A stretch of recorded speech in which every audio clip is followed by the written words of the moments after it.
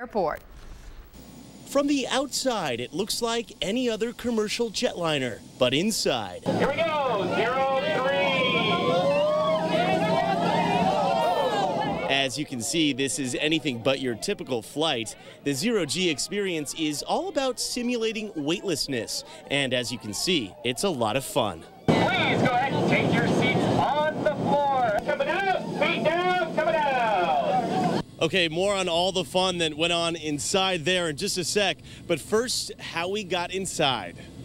Before taking off on the Zero G flight this morning, we gathered for a briefing and safety instructions. You see, the whole point of Zero G is to simulate weightlessness or zero gravity. The passengers here today are all math and science teachers from Metro Detroit and out of state, and we'll be conducting experiments in zero gravity. Everyone here had to apply, and most have been waiting months for this moment. We put a gyroscope in here. Uh, we have a scale with a stuffed animal. After the meeting wraps up this morning, it's time to get on board. Oh, I'm so excited. I am thrilled. I can't I can't wait. All right, here we are on the plane, just about to take off. Nerves are a little high, but there's a lot of excitement, as you can hear around me. After takeoff, we wait until the right altitude, and then the fun begins. Here we are, weightless. Woo! Wow! Oh! Oh! Oh!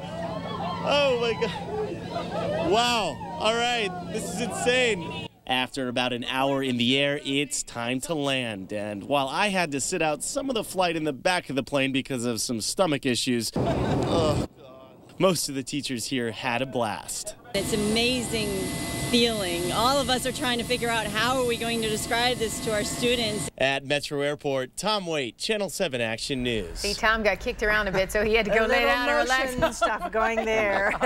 Don't